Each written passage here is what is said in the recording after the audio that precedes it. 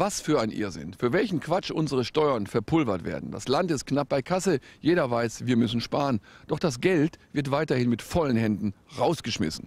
Straßen kaputt, Brücken bröckeln, Schulen marode. Jeder Cent wird für wirklich wichtige Dinge gebraucht.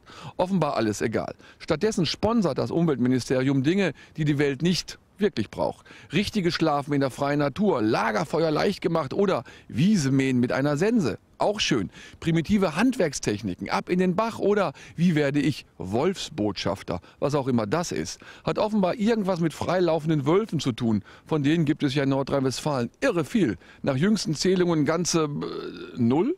Apropos Null. Richtiges Rechnen für Nullen. Das wäre doch mal eine Fortbildung. Und zwar eine mit Sinn und Verstand. Denn dann könnten auch die größten Nullen lernen, dass Nullen Geld kosten. Und zwar richtig.